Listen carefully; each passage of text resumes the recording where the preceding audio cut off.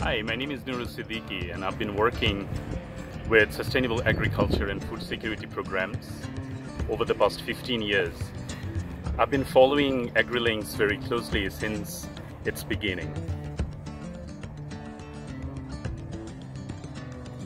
If, if you are someone who's looking for an ideal platform to share your agriculture related innovations and approaches, AgriLink is, is the right place for you to follow on. You can also learn a lot through this rich sharing experiences from the developing communities through this platform. We are going through some of the largest challenges.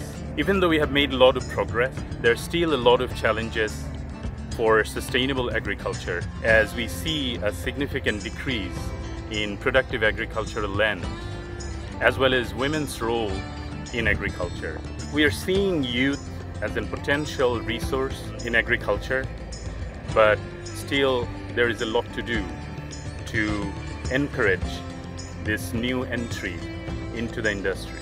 During COVID, we have seen a lot of potential for ICT-led innovations in agriculture.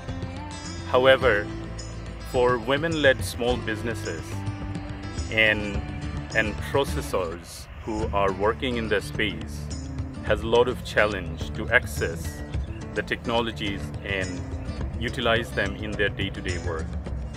If I describe AgriLinks in one word, that would be mangrove. And that is because of its interconnectedness and the way it's engaged the wider development community through research and networks. Happy 10 year anniversary, AgriLinks.